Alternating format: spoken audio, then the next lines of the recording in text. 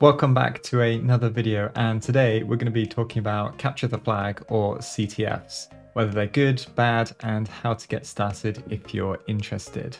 I've spent quite a lot of years doing these on and off and for me I think they helped a lot in terms of my technical development and troubleshooting skills, but they're not for everybody and definitely not a requirement. But if you are interested then there are some benefits to be had. As always, if you enjoy the video, don't forget to like and subscribe, and let's dive in. So first up, what's the point? Why bother with capture the flag at all? Well, there are a number of reasons why I think capture the flags are great. They develop our troubleshooting skills, it helps you learn new things about underlying technologies that you're working with, and they enable you to learn in an engaging and fun way, and also usually in a safe environment. And finally, if you're a PvP kind of person, they can be quite competitive too. This can be a good source of motivation for some people. A big part of application security is really getting to grips with how applications respond and behave in unusual circumstances. And during CTFs, you'll encounter a lot of this, which will improve your hacking intuition as well as your ability to solve complex problems. Sound good? Well, how do we even get started? Well, realistically, with the right attitude, you can just dive into beginner level CTFs and learn as you go. There's literally nothing wrong with that, and we'll take a look at some beginner CTFs later that you can jump straight into so that you know where to go. But if you're the kind of person who likes to be prepared, then I'd recommend having some basic scripting skills. Something like Python is fine, and know how to use some common tools like Burp Suite, Wireshark, and Nmap. And these are pretty helpful when you're coming up against challenges. And probably one tool that I couldn't live without that I use on almost every CTF is cyberchef.io. In fact, let's take a quick look at Cyberchef right now. All right, so here we are at our VM and I'm just going to open up my browser and come over to cyberchef.io.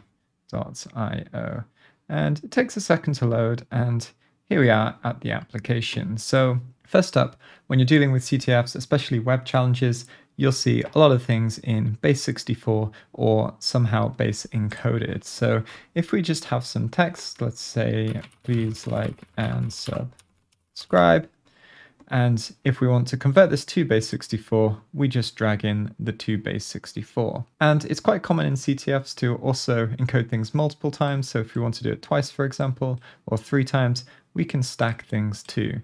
And then if we have this, for example, let's say we were given this string and we want to decode it, we can put it in here, switch this off and do from base64 and here we can easily decode as well. So very basic encoding, decoding, but this is something that you have to do a lot of when you're dealing with CTF challenges. And if you're feeling brave and want to start diving into the crypto challenges, something that you will see is, please like and subscribe, is the Caesar cipher. So this is a very basic cipher where all of the characters are shifted by three, and it's also known as uh, ROT as well. So here we have ROT 13, but we can change this to three, for example. So P becomes S, L becomes O.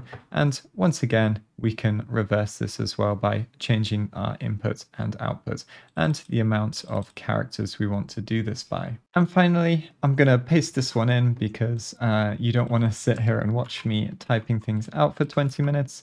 But we can also do things like regex. So if we just search for regex, and here, what I want to do is I want to match all of the IP addresses pop this in, and as you can see, we can easily see all of the IP addresses in the text. And if we want to list them, we can just come down here, list matches, and here we have a nice list. So if you're working with big blocks of text or you want to sift through some data very quickly and you don't want to write scripts to do it, then cyberchef.io has your back and you're good to go. So what I'd recommend is that you give each category a try, so try web, reversing, crypto, forensics, everything except stego, because, I don't know, only strange people like steganography. But jokes aside, do what you find interesting and don't hesitate to collaborate, even if it's in a category that you're not that familiar with or that you don't usually participate in. A new perspective on a challenge can make the difference between being really close to solving it and actually getting the points. If you're already a CTF player, by the way, and you want to share some of your key tools that get you through time after time, then let us know down in the comments below. Sharing is, of course, caring. And it's always good to hear about what the wider community is using. So, for beginner friendly CTFs, you want to build some confidence, and a good place to start is with some solo challenges.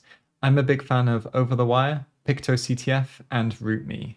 I go back quite a long way with RootMe, so it's pretty nostalgic whenever I go back and visit it. And some of the challenges are really, really excellent. So here we are at RootMe, and as you can see, you can sign up a free account, and all you need to do is sign up uh, visitor access, and you can train for free on various exercises. You can see solutions posted by other members, and you can contribute as well. And as we scroll down, you can see that there are 536 challenges.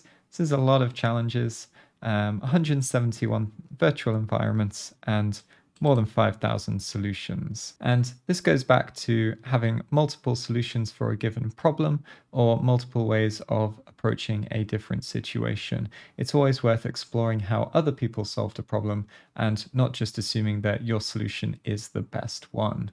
We're always open to learning new things, and a different approach might apply in a different situation. Quite a lot of these challenges as well are pretty fundamental in terms of web hacking and building skills that allow you to interact with technology efficiently and troubleshoot and find issues and then go and exploit them. So it's a great website and I highly recommend you give it a try. At first though, you might be feeling a little bit overwhelmed and really what you want to do is give a challenge a go. Set yourself a timer, let's say 30 minutes or 40 minutes. And if you're stuck by the end of that time and you've made no meaningful progress, then take a look at a write up or a hint or get some help from somebody else and then carry on. This is going to help you improve your persistence and troubleshooting skills, but not let you waste a whole day on a single problem. And once you're ready to dive in, CTF Time is probably the best place to find upcoming events, team information, and much, much more. And probably the best advice I can give you which I should leave to the end because, you know, it's a YouTube video and watch time and all that. But hey, is that once you've done a CTF, read all of the write ups and find out what you missed.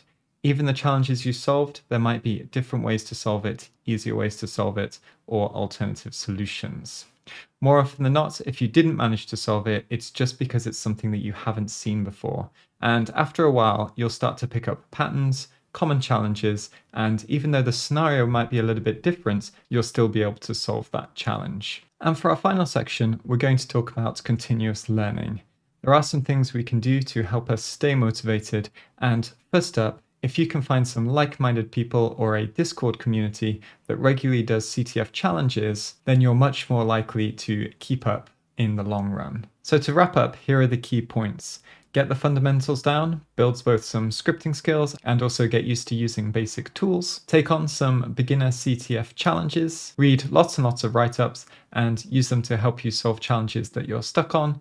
And if you can, seek out a group of like-minded people. Hopefully I'll see you on the scoreboard in some CTF competition at some point in the future. And that's it for this video. So as always, if you enjoyed the video, don't forget to like and subscribe. And if you have other tips to share for newcomers to CTF, let us know down in the comments below and I'll catch you next time.